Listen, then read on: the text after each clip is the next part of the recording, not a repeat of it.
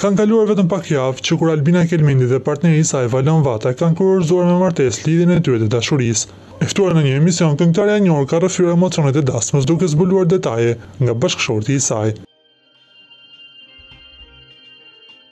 Albina tha se në fillim e nisën të punonin bashkë, hapën një biznes dhe me kalimin e kohës ndjenjat ndryshuan. Albina tregoi se është përballur me paragjykime nga njerëzit për shkak se Valoni është babai i dy vajzave. E pyetur për raportin që ka me vajzat, ajo tha, I dua fort dhe dua më të mirën për ta. Jemi njohur para tre viteve, por kemi filluar të punojmë bashkë. Hapëm një biznes. Kemi qenë shumë në rregull sa i përket biznesit, por nga ana tjetër, filluam të bëhemi shumë shok.